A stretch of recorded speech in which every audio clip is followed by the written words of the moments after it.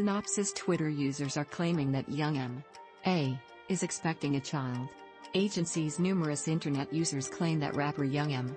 A has previously declared her desire to start a family. Her real name is Katorah Kasanova Marrero. Following the release of the quadruple platinum blockbuster single O, the 29-year-old gained popularity. Her music video has more than 300 million views on YouTube. Her fans went crazy when they thought she might be pregnant. Young M. A. is not pregnant there are no genuine or legitimate proofs of Young's pregnancy. The internet is buzzing about it, though. Young M. A had to deal with a similar falsehood last year, so she is known to be familiar with such rumors.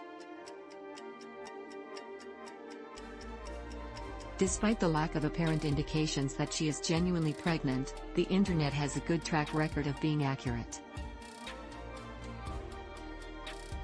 Gangsta's Paradise rapper Coolio dies at 59 Gangsta's Paradise rapper Coolio dies at 59. Young M. A.